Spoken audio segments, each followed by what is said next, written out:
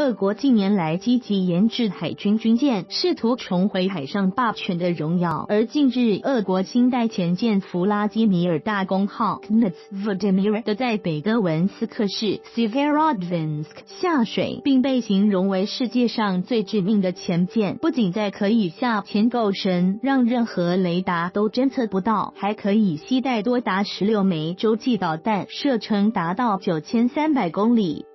据英国《每日邮报》报道，俄国这次下水的潜艇弗拉基米尔大公号装备了二十枚 R 三十布拉瓦洲际导弹，每个导弹所装备的弹头重量均为十至十五万吨，能够发射射程达到九千三百公里的导弹，能够深入水平面下四百公尺，让任何雷达都无法发现弗拉基米尔大公号，简直是世界上最具致命性的潜舰。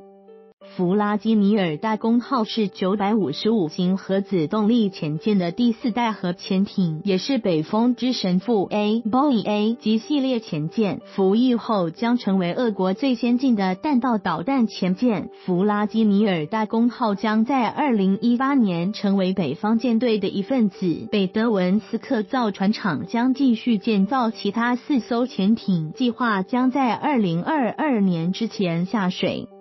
能够与弗拉基米尔大公号媲美的美军俄亥俄级战略核潜舰，能够携带二十四枚三叉戟二型弹道导弹，但射程不及弗拉基米尔大